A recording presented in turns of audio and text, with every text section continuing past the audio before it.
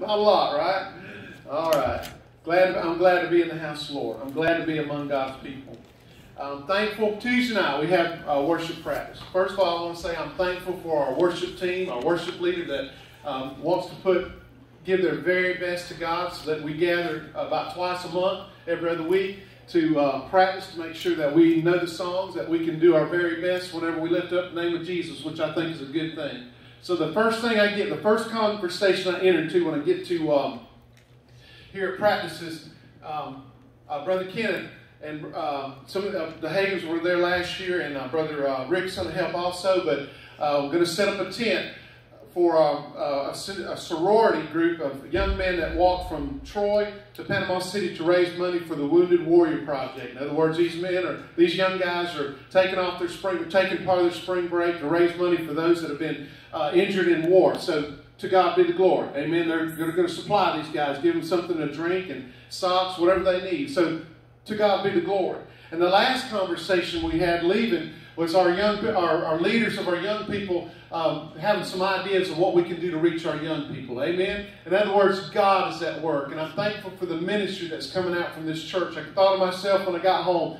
A city on a hill cannot be hid, right? And so the light's going to go out. Everybody around is going to see that city on a hill. And so ministry is coming out from this church, and I'm thankful for it. In other words, they instigated that. And then, of course, as Sister Tammy uh, mentioned this morning, we had the men's fellowship and we got a lot of work done. We had a good time of fellowship. We had some good food, and much was accomplished. Had a good spirit here. I know I enjoyed it, and I appreciate the guys that came out. So I'm thankful for the things that God's doing. There is good news, amen. There's good news in amongst all this. So uh, again, I'm thankful for you guys. Thank you for uh, all that you contribute, day in and week in and month in and out. Thank you for that.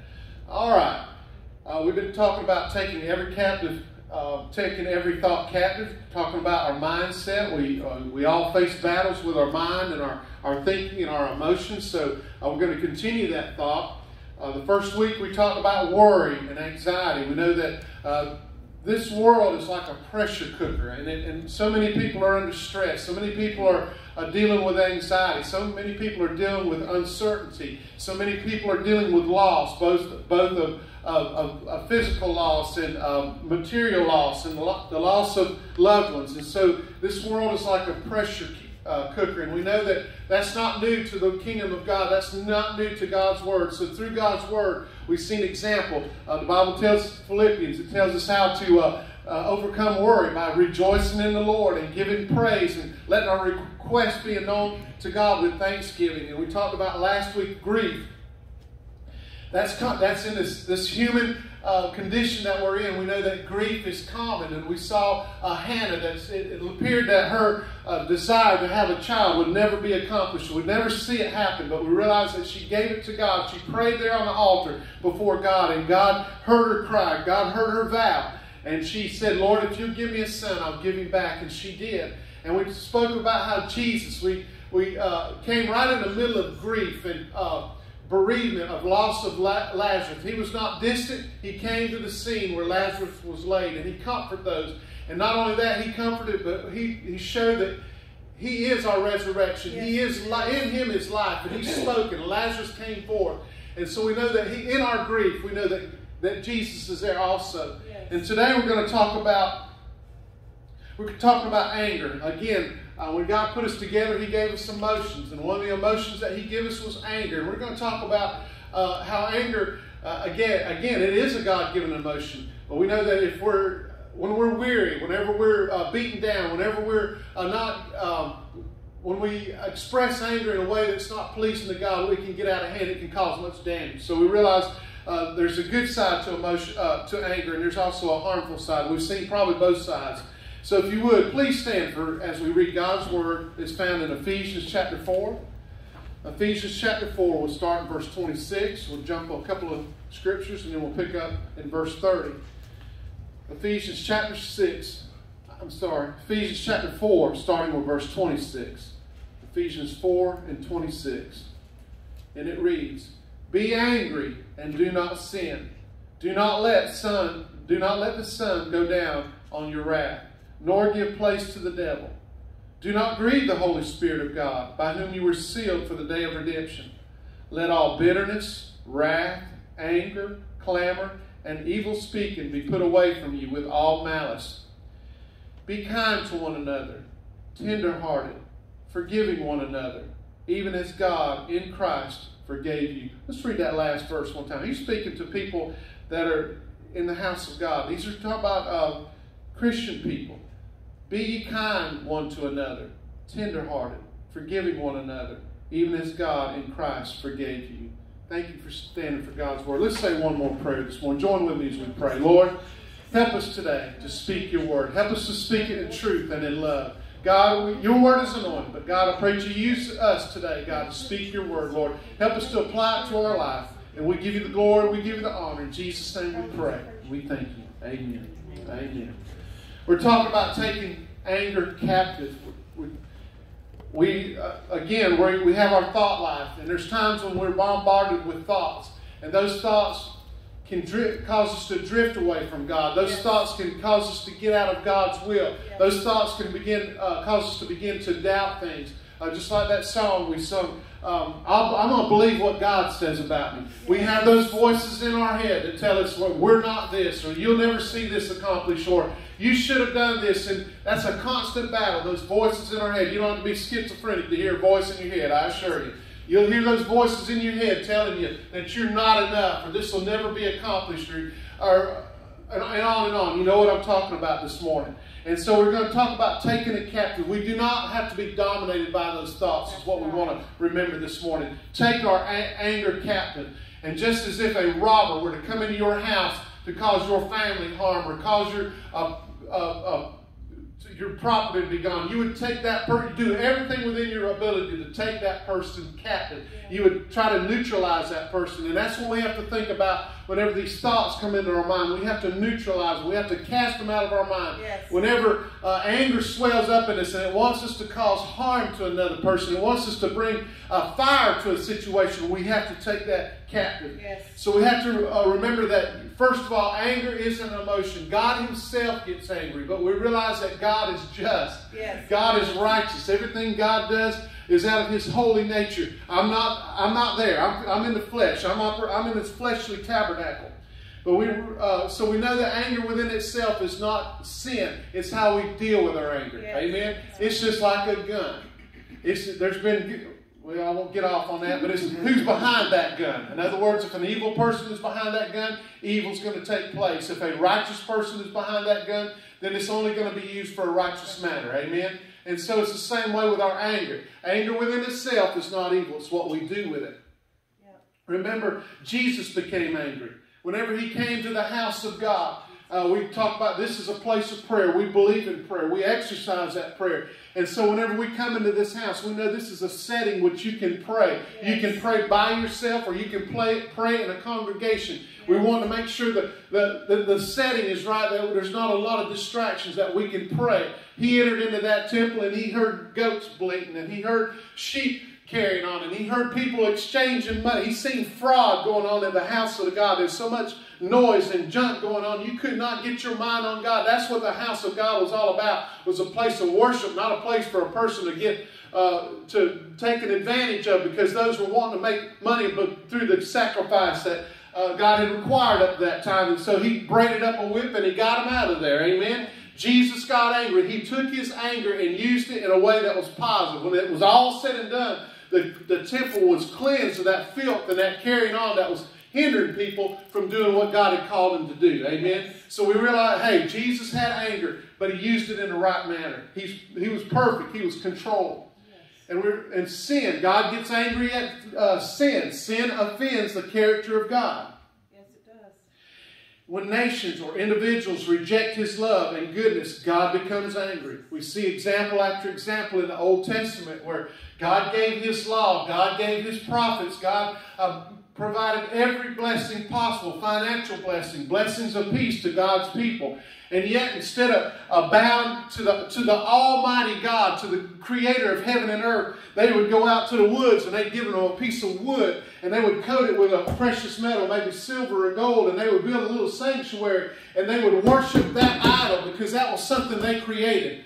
And God got angry. I'm the God of heaven. He said, I can hold the waters of the hand. You go out to the Gulf of Mexico, you couldn't measure that to save your life. But he says, I can hold that water in the palm of my hand. Look at those mountains that surround Jerusalem. I weigh them in a scale. And you're bound to a piece of wood with some gold covering it? Are you crazy? God made him, God, it made God angry. Yes. Because it's ridiculous. Yes. It's ridiculous. The God, the God that put the stars in place I'm the God of heaven. I'm the God that knows the ending from the beginning. Before it even starts, I know how it's going to end. And you're bound to an idol that cannot see, that cannot hear, and cannot speak. Yes. So God became angry, and He would cause judgment to come on His people because of their because of their lack of love toward Him. Amen. And that's something to get angry about, right? And so God would um, would um, allow he would allow a calamity to come on his yes, people to bring them back to himself. Yes. God would much rather for us to repent than yes. to cause calamity on us. That's Amen. Right. But God would do what he had to do to draw them back into himself. the Bible tells us in Genesis chapter 4, Genesis chapter 4, verses 6 and 7. Anger has been with us since the very beginning. Uh, this is the first family. Uh, the first children of Adam and Eve, Cain. And the Lord said to Cain, Why are you so angry? Why has it why has your countenance fallen? Verse 7. If you do well, will you not be accepted? And if you do not do well, sin lies at the door. It's its desire for you. Listen to this. But you should have rule over it. So whenever you read the story, whenever you read just ahead of that, Cain and Abel have grown, and, and, and Abel is a person that keeps flocks of sheep, and, and Cain is a person that tills the land, and he uh, grows produce and crops and so forth. And so the time to offer sacrifice, Cain, uh, Abel brought his sacrifice. He brought those sheep. The Bible says he brought the first, the first, uh, the first, first fruit. There we go. The firstborn. He brought his very best. He brought it to the Lord, and he sacrificed it. In other words, that first, God wants that first. There's always a first. We don't know when the end's going to come, but there's always a first. And so he brought that first lamb, that, that precious lamb, and he brought it and he sacrificed it to the Lord. And the Lord was pleased with it. Abel did it according to God's plan. He did God's way, God's will, God's way. So Cain came and he brought his vegetable. He just brought some vegetables. He didn't bring the first. He didn't bring the best. It was his whole heart was not in it. And so God did not accept it. God laid a plan out to Cain. This is what it is, Cain. This is what it's going to take. But yet uh, he didn't do it the God's way. So guess what? He got angry over it. And so God spoke to him and says, Cain, why are you so angry? Had you done it my way, I would have accepted it. Sin is at the door. Its desire is for it to take over you. But I don't want it to take captive of it. In other words, he says, yeah. don't let your anger get away from you. Go back and make it right, and I'll accept it. Just that simple. Amen. Cain took the other route. He went out to the field. Him and Abel were out there uh, in the field. And the Bible says that Cain struck his, his brother Abel and killed him. The first, it's hard to believe there was murder in the first family, but according to God's word, there was. Why is it? Because he became angry. He became angry at God. He became angry at Abel because it didn't go his way, but he didn't go the right way. He wasn't on the right path. Amen? It's like me going from here to Chipley at 85 miles an hour, and the police uh, pulls me over. And he writes me a ticket and me getting angry. Well, why am I so angry? I was out of, I was out of line. It was, it's not his fault. It's my fault I was going 85 miles an hour. Amen? And so that it's the same, it's the same parallel. So we got to ask ourselves, why am I so angry? Why am I so angry? Is there a reason for it? The Bible tells us in Proverbs chapter 19, verse 19, a man of great wrath will suffer punishment. Cain was a man where his anger got the best of him. He suffered punishment. The Lord struck him. In other words, he cursed him. He said, From now on, this, this land is not going to work with you. There's some people that can stick a seemingly a dry stick in the ground and come back later and it's growing, right? And then there's others that can have, be an Iowa, the best land in the world, and, and can't even make weeds grow. Well, that's what came from that time on because he was cursed. Because you know what? He got out of God's uh, got God. God put a curse on him for his sin. For if you rescue him, you will have to do it again. And that's the last part of that verse. But God, the Bible says, great wrath, the, a man of great wrath will suffer punishment. Cain gave way to his anger, and as a result, he murdered his, his own brother. He murdered Abel, the first recorded murder that, murder that we have. The first family felt the pain of death Cain was cursed because God, Cain didn't take his anger captive. He had opportunity. God spoke to him, said, This is what you do. You take control of it. And he didn't. So when we become angry, we have to ask ourselves, What's going on here? Is it something I brought on myself? What do I, what do I need to do about this anger? There's a way out. In other words, God opened the door. The Bible says, with every temptation, there's a door of escape. God swung that door wide open for Cain, but he refused to walk through it. So we need to ask ourselves when we're angry, angry about something, what is it that I need to do about this? You know, a few years ago, there was a, a person that I knew. I got very angry about the little symbols that the state puts whenever somebody loses their life along the highway. And he got very angry with it. And you know, I, I, I sit there and I listened to him. He really went off on it.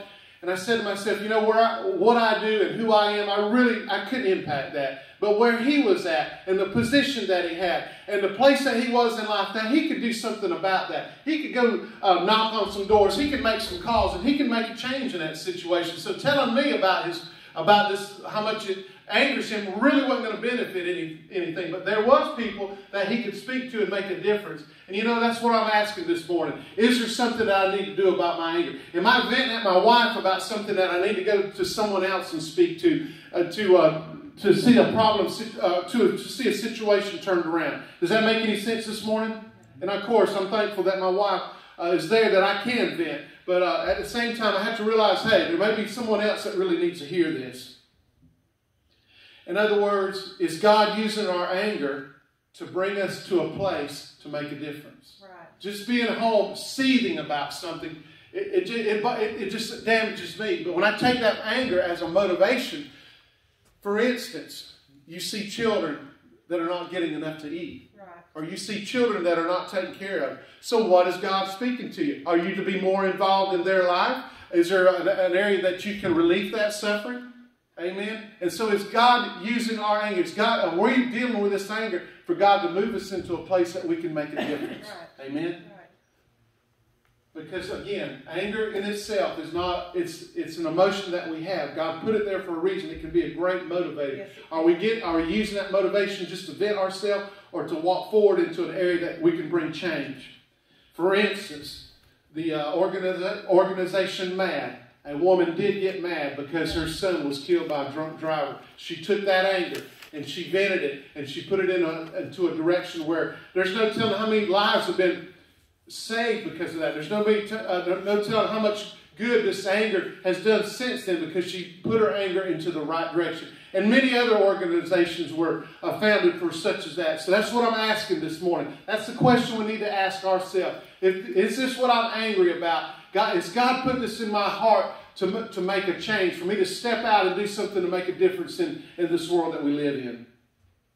The Bible tells us in James chapter 1 and verse 19 and 20, it says, So then, my beloved brethren, let every man be swift to hear, slow to speak, and slow to wrath.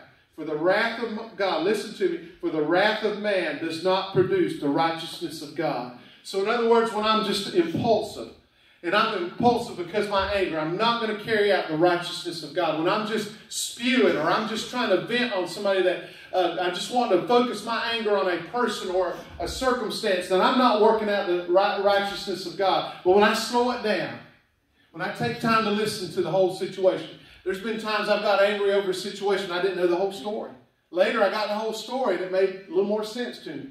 And when I'm slower to speak, in other words, if I'm not speaking, I'm listening when I slow it down a little bit and I take time to let God speak to me and to hear the other end of the story because I, one thing I've learned, if I've not learned anything else, there's two sides of the coin. There's two sides of the story. Sometimes we hear one side and we don't hear the other side. And man, we can get really uh, out of joint for a while until we hear the whole story. And so sometimes it just takes a slowing down and say, you, there's probably there's probably something I'm not knowing here. There's probably another part of the story I've not heard yet. And so we need just to remember that this morning, to be slow to speak, swift to hear. Take time to hear it out.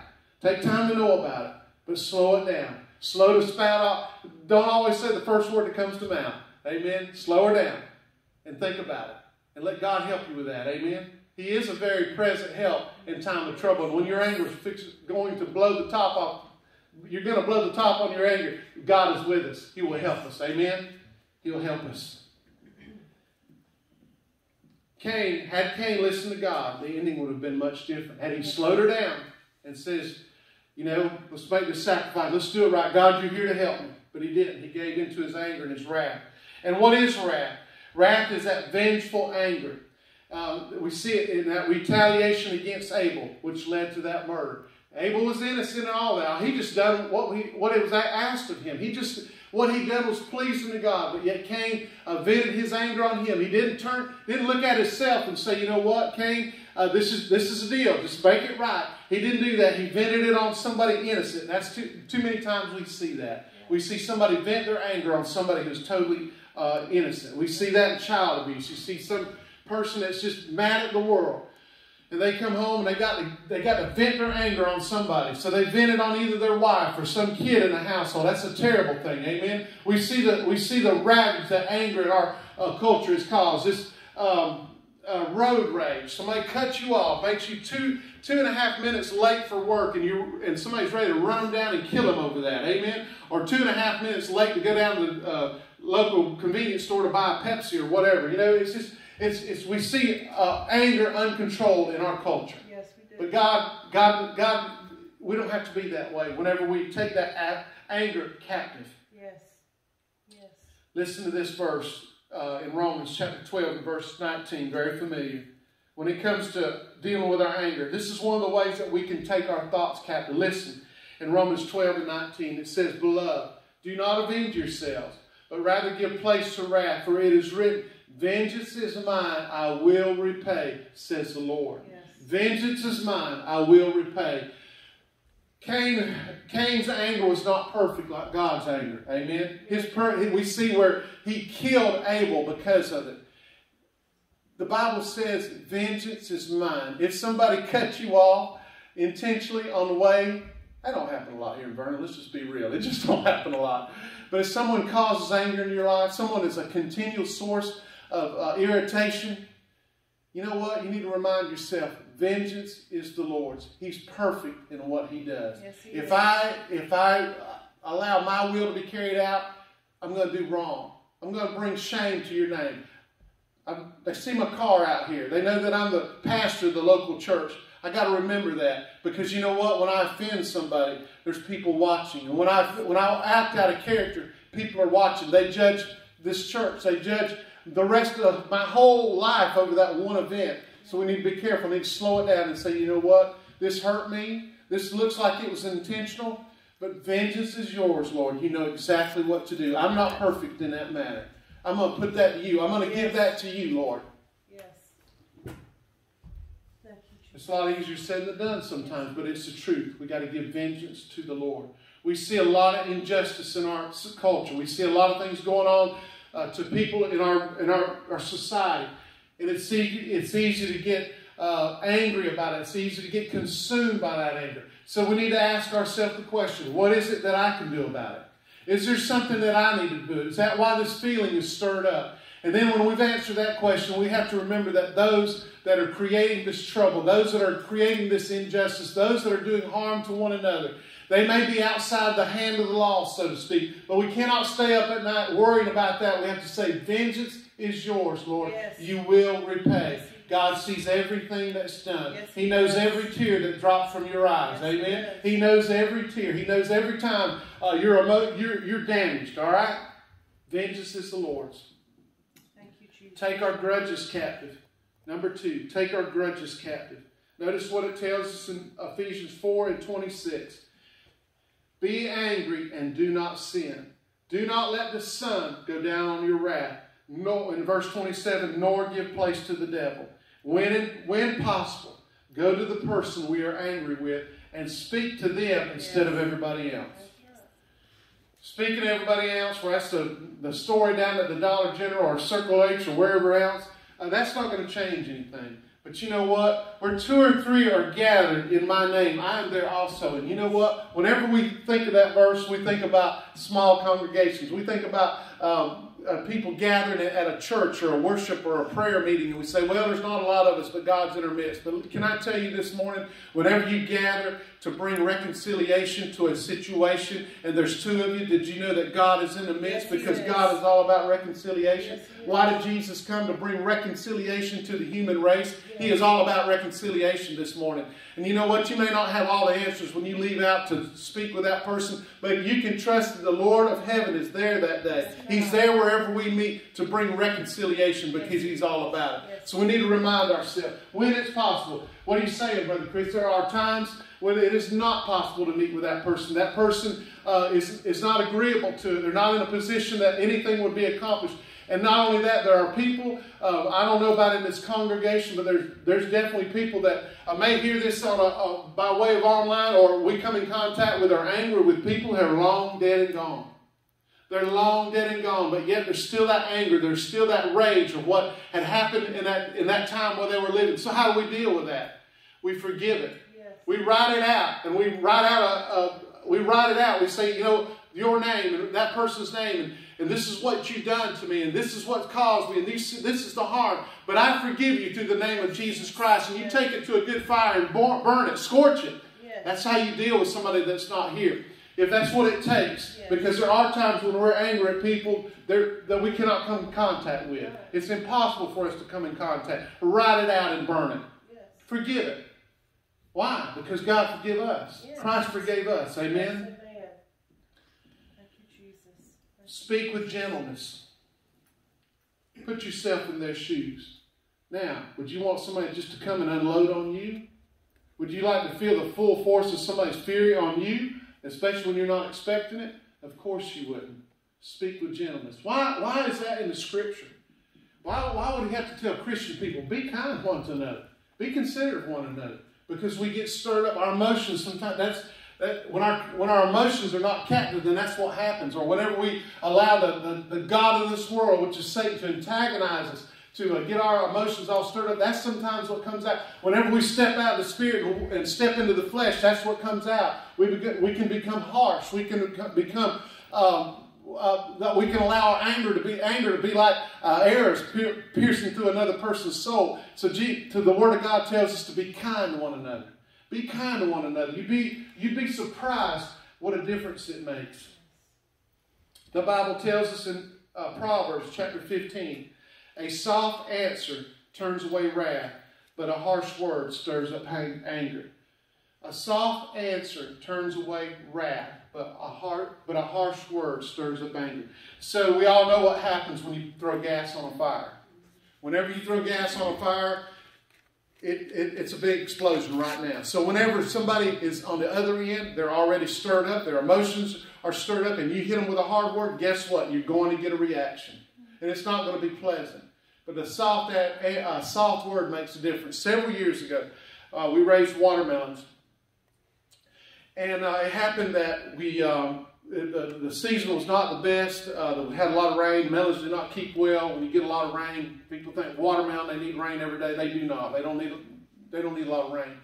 So anyway, long story short, um, we had, I had a watermelon buyer that was, not, was not wanting to pay me for my, some of the melons we had sent them. That was a lot of work. It was a lot of expense. And it looked like he, he wanted to get out of paying me. So um, I called the guy. And um, actually, the county agent said that um, in the situation we're in, you know, he was obligated to pay me. There's not a written contract, but he was obligated to pay me. And so uh, uh, through his counsel, he said, you know, if he does not want to pay then you take it to the attorney general. I said, all right, so we'll just take this step at a time. So I called the guy and said, man, you, you, you had to send a check. And, and so uh, we've got to do something about this. And so he went on about this, that, and the other. And I said, well, uh, if you're not going to pay me, you'll be hearing from the uh, Attorney General in a few days. I just said him like that. And we hung up the phone. Been a good time to get angry, right? We worked hard. I mean, it's a it's it's a job. It's a job raising a watermelon. Job, job raising anything. And so a little bit later on, he gave me a call. Got a call. It was him. He said, "You know what? Uh, I'm not a cheat. I didn't start being a cheat. I'm not going to cheat." He said, "You'll get your money."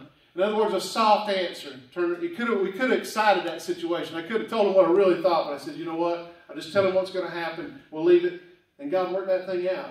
But if I got all stirred up about it, it may not have ended that way. I'd have made a fool of myself, and, and we don't know how it would have ended. But you know what? We allowed God to work in that situation. We done it according to His Word. We gave a soft answer. Okay, that's the rapture table. this is what's going to happen. And God worked it out. And I realize not every situation may work out that way, but whenever we do it God's way, we have His blessings. Yes. We know that. Amen? Amen. So speak with gentleness. Unresolved anger leads to bitterness. What does the Bible say whenever it says, "Do not let your son go down"? Do, do not let the sun go down upon your wrath.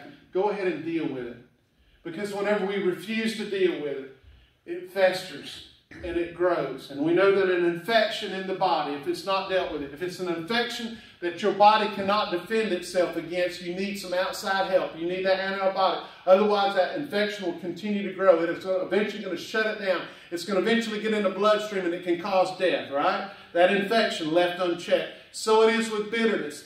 If, it's, if we're not, if we do not deal with that anger, it will lead to bitterness, and that bitterness will put a wedge between us and other people. It'll put a wedge between us and God. There's nothing worse than to see a bitter old man, to see a person that spent their whole life. They've had a lot of They've had things happen or whatever, but they've allowed bitterness to set up in their soul. And it doesn't matter how pretty the day is, it's not pretty enough. It doesn't matter how pretty, good the shoes is, it's not good enough. Everything is bad. Everything is sour. Everything is tainted because of that bitterness. There's no uh, loving relationships in that life because, you know what, they've allowed bitterness to take control. And that is a root. A root is something that starts small, but it continues to grow. It's different from a seed. And you can you, that root it'll grow, and it has to. In order, the way to get rid of a root, you have to pull it all out. You can't leave one little piece because if you one, leave one little piece, it'll set roots down and it'll continue to grow again. And so it is with that bitterness. We need to be. Uh, we need to root it out. We need to ruthlessly root out bitterness out of our life. We need to ruthlessly get anger, unresolved anger, out of our life because it will cause trouble. It will it will canker our soul. It will uh, it will spoil our soul. Amen. Whenever we allow bitterness to take place, I assure you, within walking distance of this church. There's, there's a multitude of people that have been hurt in church or hurt by church people. And rather than dealing with that, rather than taking it to God, rather than putting those other people that have hurt them under the blood. They've seethed over that and they've created bitterness in their life. And now they, they're distant from God. They're, they're, they're, prayer, they're not putting up prayers for God. There's no active testimony in their life because they've allowed bitterness to overtake their soul. Yes. We have to deal with it. Yes. Yes. We have to deal with it. Thank you, Jesus. Thank you. Unfortunately, I've, I've lived long enough to see that. They just allowed bitterness. They've not taken that root. They've played with it. And that root has grown and it has uh, overshadowed. It's filled their heart rather than the love of God. Yep. Take our anger captive. How do we do that? We forgive. We forgive. How do we diffuse or disarm this anger that we have? How do we, how do we, how do we, you know, some fires, some fires you put water on, other fires you don't. You put some something else on it. Electrical fires, you don't put it out with water, you put it out with a chemical, right? How do you, so you diffuse that? How do we diffuse this fire in our soul with this anger? If we're not in a position to do something about it, if there's not a, then we, then we forgive. We forgive that person that's caused this, or this institution, whatever the case might be. We forgive that person. That puts, that takes the air out of the fire. When you take the air out of the fire, the fire will die, right? Fire needs fuel, and fire needs oxygen, oxygen to do its thing. And so whenever that fire of anger is in our soul and it's consuming us, how do we diffuse it? How do we take it captive? We forgive. Yes. And by what basis? We have to look back in our own self. God, you have forgiven me Yes. completely. Yes. You've forgiven me completely. Yes. That gives me that gives me the ability to forgive another one completely. I have received. I can't give what I, I can't give what I've not received. I've received forgiveness. God, you've been forgiven of me. God, you've been merciful to me. God, you've looked down on me when I was not worthy. And God, you forgave me. And so I can forgive others. Because of that, I can forgive others. That's how we diffuse that fire in our soul. Forgive completely, regardless of another person's actions. Brother Chris, are you saying you don't know what they've done to me? I do not know. But I do know you can you can forgive. You know what? The Bible says when we when we hate or we have anger for no cause, we have an anger, uh, uh, uh, uh, anger toward another one, the Bible says it's the same as murder. And I can tell you, I've been, I've, I've had that kind of anger from time to time. And you know what? God forgave me. In God's eyes, it's the same as murder. So God forgives, right? He forgave me of that when I was so angry. Uh, I was so angry. It was that God compares that hate to, to, to murder. So God has forgiven us of that. It doesn't get any higher than that, does it? Murder. If God will forgive me of that anger, that left unresolved could turn out like Cain or something like that. Hey, I can forgive those that have caused me damage or those that have caused me harm or those that have gotten the best of my emotions. But you know why? Because God has forgiven me. Yes, He has. God has forgiven me. Remember, you whenever we ask for forgiveness to, to God, whenever I pray the Bible says uh, if we call out, if we confess our sin, He is faithful and just to forgive us. Amen? Yes. That's right now. That's good right now. That's just like a $5 bill. I give Tammy a $5 bill, it's worth $5 right now. But in our own lives, remember, sometimes this takes a process for us. Sometimes we, uh, again, it's all about taking those thought captive. Whenever we forgive somebody, it happens right then. The, the devil, the accuser of the brethren, that one that stirs up our emotions, the ones that keeps us on edge, whenever he brings those thoughts back into our mind, and it, it, it he wants to re, he wants to blow a flame, uh, blow a wind on, that, on those little embers and try to get a flame going again. Remember, it's a process and, and snuff it out.